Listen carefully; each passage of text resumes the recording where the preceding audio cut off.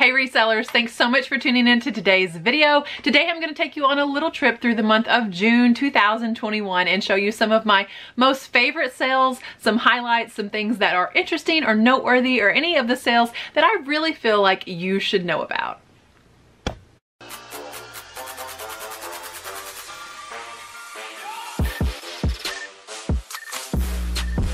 Alright guys, the first sale that I'm going to tell you about was actually a pair of trail shoes that I purchased at a local yard sale. I bought these shoes for me to wear, even though they were a half size uh, too small, or more like a full size too small, because these were a women's 9, I'm more of a women's 10, um, but these shoes were such a good deal. I think I paid 3 or $4 for them, and they were these Adidas trail shoes. And um, historically, I haven't sold a ton of um, running shoes or trail shoes, but I picked these up again for me and sold them. Um, I didn't even do anything to clean these up. They weren't in that great a condition and I sold them for $25 with free shipping. So awesome sale there. Wanted to tell you guys about it because after I bought them and thought, you know, if nothing else, they would be great as a backup pair of shoes on a really rainy trail run. I uh, actually walked into my thrift store and found the exact trail shoes that I already run in for four or five dollars. So I bought those and replaced them, um, replaced these. So that was a really good sale. Um, a quick little bread and butter item here. I feel like a lot of resellers walk right by belts, especially if they're not branded. This belt was not branded in any type of way. I think it said Argentina leather on it, but it sold for $10 plus $5.50 shipping. Just a simple little um, leather belt with brass buckle there. And so I just thought I would mention that to you because you may be walking right past the belts and uh, there's money to be made there especially in most thrift stores you can pick a belt for maybe a dollar two dollars sometimes even less than that. If you can flip every one of those dollars into ten dollars belts don't take up a whole lot of space. Lay them flat or coil them up and lay them in a drawer that way. Um, when you ship them be sure that you protect the belt buckle but they're easy to ship as well. So consider belts if you haven't they don't have to be branded to sell for, you know, 10 $15. Another item that I sold in the month of June was this Harley Davidson shirt that I was so excited about. I think I paid like six or eight dollars for this shirt. I was absolutely confident that it would sell for like $50 or more. Let's see if that's going to allow you to really see. Okay, can you see the detail there where it says Harley Davidson on the back of the shirt? Shirt looks like fire, right? No, it was not. I finally accepted, actually one of these has the price tag on it. $8 I paid for that shirt. It only sold for $20 plus 480 shipping. So I know Harley Davidson is really cool right now. I know that we all want to jump in on that fad, but they're not all huge money makers. Even something that has that cool of a logo on it only sold for $20 plus barely shipping. I did sell a Walkman though, and uh, you guys know I always tell you about um, taking a picture of the battery compartment on Walkmans. This Walkman sold for $24.99 and it actually isn't a Walkman. It's not Sony brand. So unless the cassette player is Sony brand, do not put Walkman in the title. This is just a generic, well, it's not generic, a GE cassette player. Let me turn up the brightness here on my phone so you guys can hopefully see this stuff a little bit better. Um, but yeah, this is just a cassette player here sold for, again, $24.99 plus $7.50 shipping. So if you can pick those up for two, $4 um, wherever you're at, they're absolutely worth the pickup. I sold a Victoria's Secret bombshell push-up bikini top. This was given to me by a coworker. She gave me a whole lot of Victoria's Secret swimwear that she and her daughters were not using anymore. And this thing sold for, get a load of this, $40 plus $8 shipping. The buyer was all in at almost $50 for a used bikini top. So Victoria's Secret bombshell push-up, remember that. I started selling vintage photographs recently at uh, the 100 mile yard sale that I went to. I bought a little Ziploc bag that had two smaller Ziploc bags inside of it and those were full of black and white photos.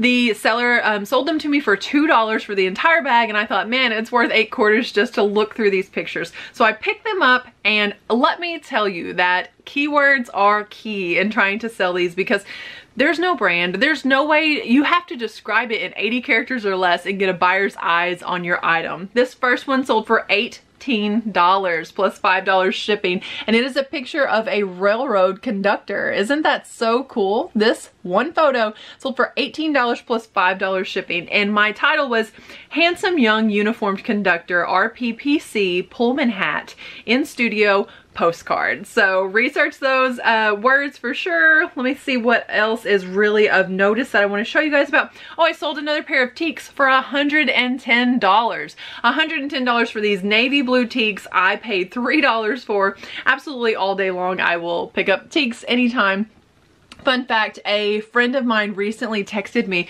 and she said, oh my gosh, Rachel, I'm at work and a girl just brought into the break room like four or five pairs, six pairs, something of Tieks. She wants, I think she wanted like $5 a pair or something for them. They were in almost brand new condition.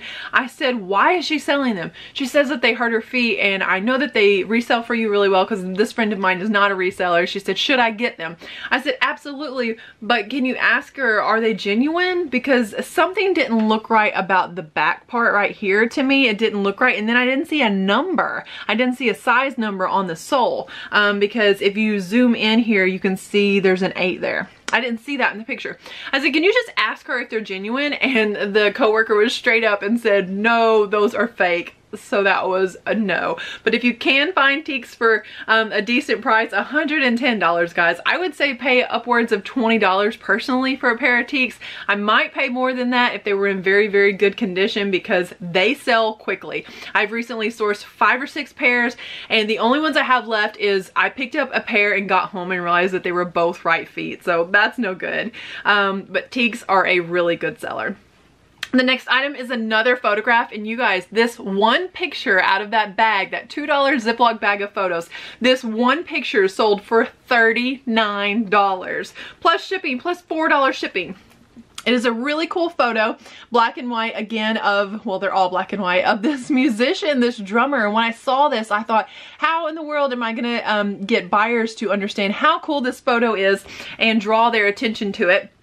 So I described it as rare RPPC drummer Lyle Reed because that was written on the back Lyle Reed band real photo drum musician. So I just put every word in there that I could in 80 characters and sold that guys. $39 for one photo. That's incredible to me. Um, oh this was kind of a cool sale because recently my husband and I um, we needed to buy a new kitchen faucet and the faucet that I wanted we just have kind of expensive taste. And by we, I probably mean me. He just goes along with the things that I pick out and, and gets what it is that is in the vision here, okay?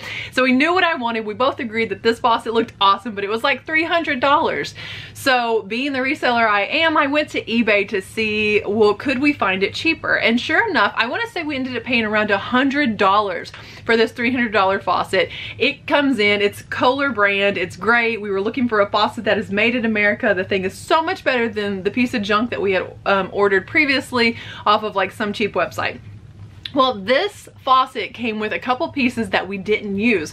One of which was that soap dispenser, like that auxiliary soap dispenser that if you have the hole in the sink there, you can um, you can mount the soap from underneath and the pump is on top.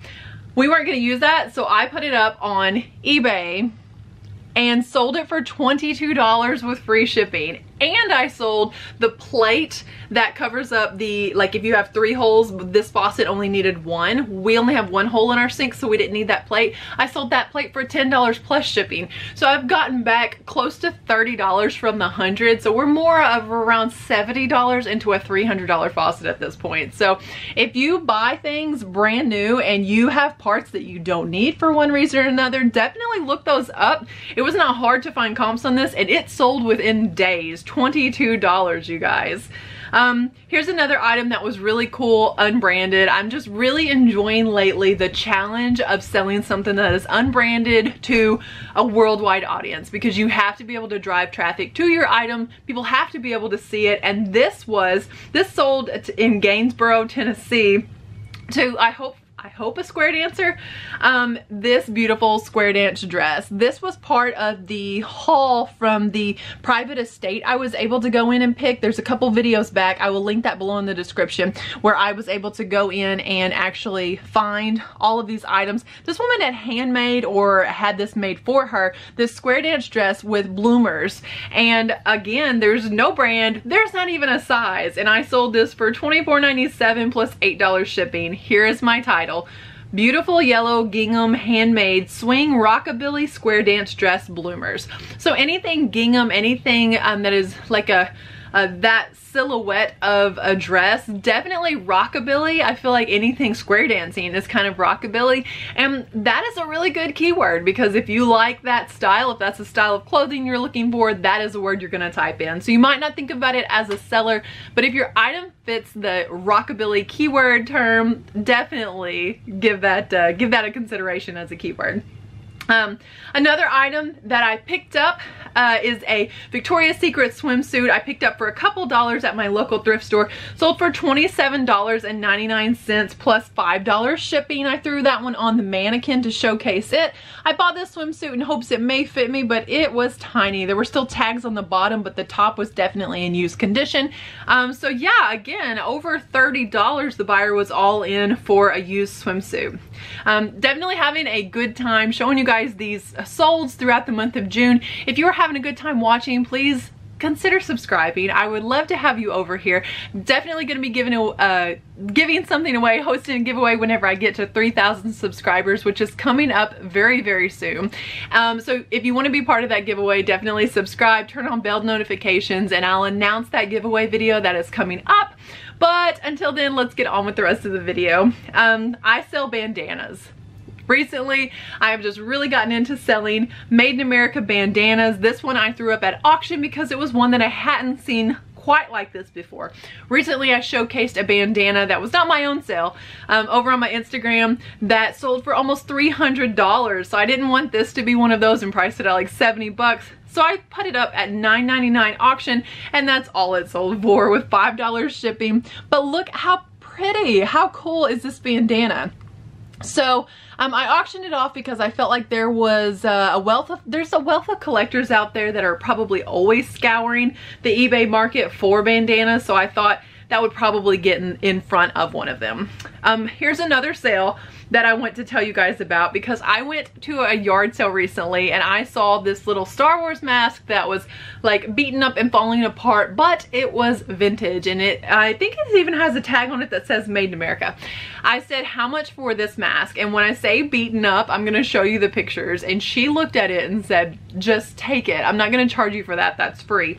I sold this mask for $15 plus $5.50 shipping. So my son was able to tell me um, that this is actually a palace guard. If this is going to focus here, then you'll be able to see. This is a palace guard and look how crumpled up this thing is. Do you see how broken and busted this is, I went ahead and shipped it as though it were not so beat up and I um, bubble wrapped it. I took a lot of care wrapping this basically so it wouldn't fall apart because it is so beat up. Look, there's like a hole in the nose there. So the fact that this thing sold for over $20 because it's $15 plus $5.50 uh, shipping free at a yard sale, that's pretty good. Recently I sold some silver plated spoons and I want to show you guys the shape of these spoons in case you ever see them you'll know exactly what they are. Um, let me see if I have a picture. Okay, this picture here, you can see the one on this side. You see how it has a serrated edge? That's called a grapefruit spoon. So it is able to uh, cut through the skin of the grapefruit, but then also scoop it out because it's a spoon. So this particular lot of spoons came in a box. They were all silver plated and beautiful. I bought them originally thinking I may want them, but I have grapefruit spoons and I probably didn't need silver ones, so I sold them for $32 plus free shipping. Those probably sold faster than any of the silver plate items that I have and uh, for more money. So if you're gonna pick up silver plate, maybe stick with silverware. As far as like the large platters and tea kettles and coffee carafes, I don't really do so well on those as I do very easy to store silverware. So to each their own, let me know in the comments if you sell silverware, um, a silver, silver plated um, I don't know, platters and bowls and like I say, carafes and pitchers because I just I feel like I can't give those away. Um, cream and sugar sets and stuff like that. But actual flatware, silverware, I can I can sell that really, really well. I found some Le Creuset Le Creuset. Maybe you don't pronounce the T because that's French. I don't know.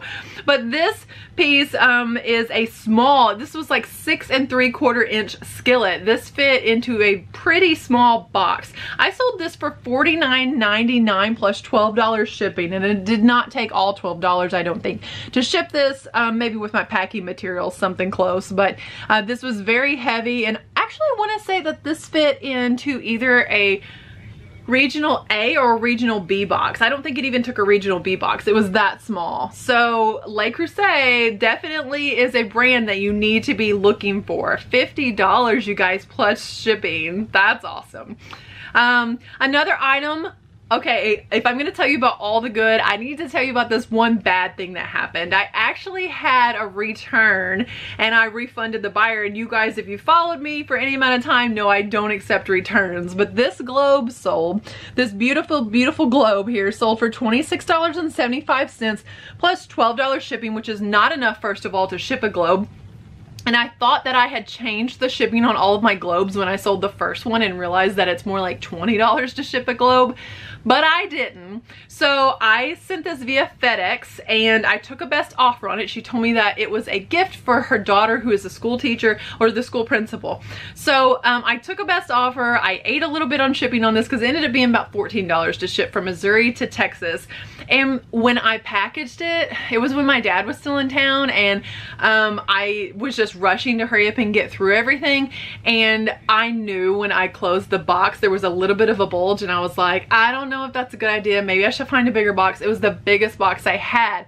And the lady was already asking, when is it going to be shipped out? And I said, just let me get a bigger box. I shipped it on day two and she acted like she was already a little bit out of shape about that. Well, sure enough, that little bit of bulge, FedEx must have laid something heavy on top of it. I feel like it was mainly my fault though, so I didn't even turn in an insurance claim, but the pressure on that globe split it in half. You guys, I had to refund the buyer. I absolutely did because I just knew when she said it arrived damaged, I knew, oh my gosh, here I was telling myself I probably hadn't packaged that well enough. So if you're packaging something up and you think twice and you're like, maybe I haven't packaged that well enough, go back, do it right. Don't eat 30 $40 worth of profit because I mean, $26.75 plus $12. Um, and to be to be honest with you, I would rather have just had that globe as decor in my home than refunding someone and they get to keep the item because what would be the point in having her send that back to me and another $14 in shipping for a broken, busted globe? Uh, learn from my mistakes on there. Um, I think I showed you guys recently, I'm pretty sure in my 100 mile yard sale um, haul, this plate that I bought that I said I was just to hang it up until it sold. Um, it has Neil Armstrong and the moon landing. I know I showed you guys this actually in a, in a prior haul video. This already sold. It didn't even last a week. It sold for $14.99 with free shipping. Oh, here's a good one that you have to know about. If you don't follow me on Instagram, I try to update when um, kind of like BOLO items like this um, sell so that you know to be looking for them. So definitely look for my Instagram in the description below and go follow me over there and we can be coworkers. Um, but this is a vintage 90 basically and a little short robe. So I really enjoy selling um, vintage lingerie pieces. There are it's just huge amounts of people that are looking for these. This set sold for $50 plus $8 shipping. Um definitely vintage lingerie shows best on a mannequin if you could get it on a mannequin. I would 100% not recommend modeling it. Um, it's just a bad idea. But $50 plus $8 shipping that was nylon. Look for nylon items in vintage lingerie. I sold a piece of Johnny Was, the second piece I've ever sold. This was um, way prettier than the first piece I sold, but I originally priced this over a $100. I came down into the 90s on it. Nobody was making a move on this, and I finally got an offer, and it must have been on a day that I really wanted to sell because I accepted a $55 offer on this beautiful Johnny Was shirt, plus I think $5.50 shipping. Um, I paid $2 I paid $2 for this top, so I'm definitely well into the profit there. But just in case you're unfamiliar, a lot of you guys, I know if you just do hard goods or shoes or something like that, Johnny Was may not be a brand that you are aware of. If you see Johnny Was, definitely pick it up. That's a BOLO brand. Here's another photo. Oh my gosh, how many photos are we gonna have in this video? Um, let me see. This one says, okay, this photo is pretty interesting. So when you are outsourcing, if you're wanting to find photos that would sell well, the um, subject needs to be really interesting. Something needs to be interesting about the photo. And look at this one. This guy over here is just playing banjo. And this guy looks like he's either bored or he's captivated or he's like, you interrupted my book. I don't really know what's going on here. But this photo, and we're talking about just little like five by six uh, it's blurry until it recognizes my face. Little like five by six photos. Um, this sold for $25 plus $4 shipping, you guys. There's another women's clothing brand that I sold recently for over $50. Definitely always want you guys to know about those uh, over $50 sales. This is Jill, Jill Stuart. This is a formal dress that sold for $59 plus $10 shipping. Beautiful, beautiful dress. And if this took much longer to sell, I think I was gonna try it on and just own it and go have photos made in it or something. The first two pictures I used as stock photos. I kept on the Nordstrom rack clearance tags, which is not even where I got it because that was still much more than what I paid for it. The dress retails, I think at $198, no, $398 retail. So it sold for $59 plus $10 shipping. Jill, Jill Stuart is the brand on that. Sold a Spice Girl tape, but not for very much. Sold some vintage Levi's. And vintage Levi's, guys, don't don't kill yourself looking for those because honestly I feel like unless there's something very very special about them they're about a 25 to 35 dollar sale for me most of the time um I sold another pair of Tieks. I actually sold two more pair of Tieks. The Both of them were silver. So I come in with four silver Tieks and trying to match up which one goes with which to make two pair. Match those up and they really weren't in phenomenal condition. One pair sold for $65 plus $9 shipping and the other sold for $61 plus $9 shipping. They're almost identical. Here's the first pair I'll show you. But again, these uh, were a $3 pickup. So if you don't know Tieks, get to know Tieks. It's a brand that you absolutely want to know about.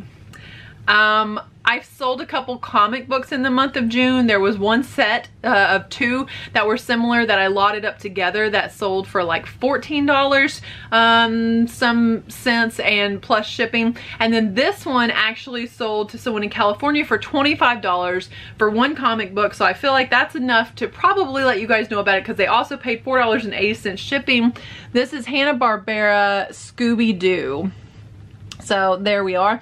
This, um, now that's not to say every Scooby-Doo comic book is worth $25 plus shipping, but this particular one was. It's not hard to look up comic books. Um, you can usually just type in the title and whatever the, um, whatever the issue number is. And on, on comic books, if you just open the very first page at the very bottom where it shows the copyright information, somewhere in that paragraph, you're going to see the issue number. So it is very, very easy to look up comps on comic books that way. Um, let's see if there's anything else that I just think is so outstanding I want to tell you guys about. My son sold a pair of women's Levi's jeans. Um, so does my son know anything about women's fashion? Nope. Does he know anything about women's brands or anything like that? Nope. But these were $6 on clearance at Ross and he just knew that he was gonna get his money back off of those. I ended up putting them back actually. He saw me looking at them and then he said, well, I wanna buy those. So we bought them for $6. We used a stock photo there and then I took photos here. Um, sold these for $40 plus $5 shipping for a pair of new, um, with the tags, women's Levi's retail arbitrage. Uh, let's see, there's probably, okay, one more sale here that I want to tell you guys about because again, the story is just so interesting. Not sure if this is in the 100 mile yard sale video or not because that's where I got it, but this Operation Desert Storm hat, this vintage hat that I found, um, these I believe were two for a dollar um, so I picked this hat up. I held on to it for a little while before I listed it and I listed it the other day. I just looked at, uh, trying to look up other Desert Storm hats, vintage Desert Storm hat and most of them seem to be around $20 or so, but I thought this one looked so cool. I priced it at $28 with free shipping. I've been offering a lot of free shipping on my vintage um, hats lately because I'm not sure why buyers aren't, aren't looking at my hats more often, but they're not, and I want to get them in their eyes, so I thought maybe I'm being filtered out. I'll add a little bit of extra and offer free shipping on these. So $28 with free shipping, sold within seconds of listing it. And I thought, what have I done here? What did I miss? Interesting story. And you can see um, photos about this over on my Instagram again. So this particular hat in 2000, this hat is from the 90s, but in 2014, Supreme, like the brand Supreme, um, copied this hat and the only difference being it says Supreme white over the top of the snapback back here. And even the tag they copied and it looks like this and then it says Supreme underneath it. Well, this is the true vintage hat that's from the 90s. That Supreme hat can sell for 75 to $150 depending on the colorway. There's one just like this that's sold or is listed over on eBay for $75 but it's the Supreme one. So I was like, well, is Supreme technically the knockoff on this? And one of the viewers um, and friends, followers over on Instagram made a good point. Kind of everything Supreme does is lacks creativity and like no offense to Supreme, but that's kind of their brand is just putting their name on other people's items. So I wonder if the people that originally came up with this concept for this Desert Storm hat were ever compensated because I'm telling you, it is copied down to like the exact print. Where this is yellow, there's a yellow. Where it is pink, there's is pink. But a buyer bought that within minutes and I just thought, I wonder, I mean, obviously it's because it looks like the Supreme one. I hope they know that that's not what they're getting. I have plenty of, plenty of photos here, but I just thought that that was interesting and really, really worthy of note because although I couldn't find my exact Desert Storm hat, it only took a quick um, like I took my photo and I ran a quick search on Google Lens and was able to pull up the Supreme one. So if you're having trouble finding the item um, that you are trying to find comps for, if you're finding it difficult to get a good description and you want to know how did someone else describe it, take a picture and pull up Google Lens. It is such a phenomenal app, not sponsored. I don't think that they would sponsor anyone's video ever. It's just an app that I want to tell you guys about. You I can upload a photo, um, tell your kids about it because they can upload a photo of their homework question and I think Google will answer the question. There's all kinds of things that Google Lens will do that definitely saves your skin sometimes as a reseller. So consider adding that app into, um, into I guess your work repertoire, your, your pocketbook of apps there that saves your reseller skin. Um, but these are just some of the really cool sales that I wanted to let you guys know about for the month of June. I thank you so much for watching. I know these videos are always long, but if you guys comment and let me know, like, should I shorten them up and start making them one and two parts more often? Or do you enjoy being able to put on like a half hour video and get something listed while you're hearing me talk about either what sold or what I picked up or what's going on in the life of this reseller? Um, comment below and let me know. Thank you again so much for watching this video. I hope you guys have a very blessed and um, appreciative 4th of July and celebrating our country's independence, watching a video today that had some American soldiers in it. It was just like a Hollywood portrayal, but I just thought, man, so many people have given up so much for our freedoms in this country, and I hope you guys can focus on that this 4th of July and really celebrate our independence. God bless you guys. As always, treat your business like your business.